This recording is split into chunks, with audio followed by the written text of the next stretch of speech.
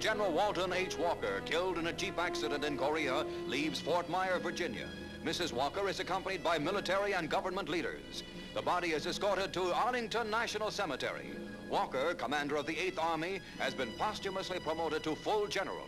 Among the mourners are Generals Marshall, Eisenhower, and Bradley. General Walker, a veteran of three wars, goes to a hero's grave.